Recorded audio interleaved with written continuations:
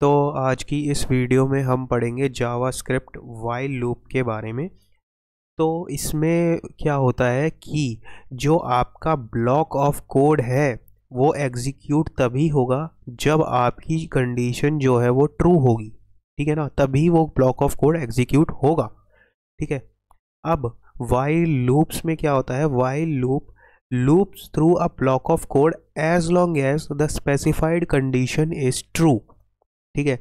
जब कंडीशन आपकी ट्रू होगी, जब तक ट्रू होगी, तब तक वो ब्लॉक ऑफ़ कोड जो है, वो एग्जीक्यूट होगा।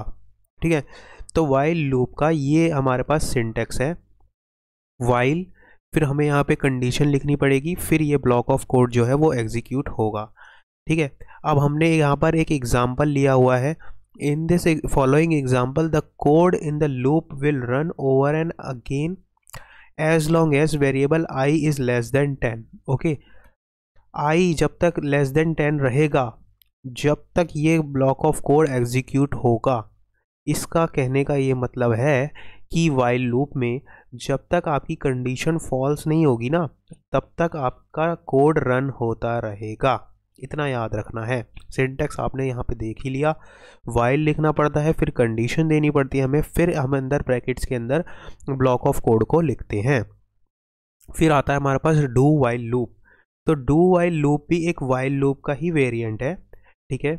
और ये लूप जो है वो एग्जीक्यूट होगा, जब ही होगा, पहले तो ये कंडीशन को चेक करता है कि क्या कंडीशन जो हमें दे रखी है, वो कंडीशन ट्रू है कि नहीं है।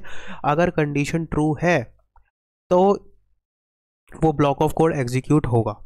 और इसमें हमें ये बात याद रखनी है डू वाइल लूप में कि loop will execute the code block once only once okay तो ये था हमारा डू वाइल लूप बस इतना ही था इसमें वाइल लूप में।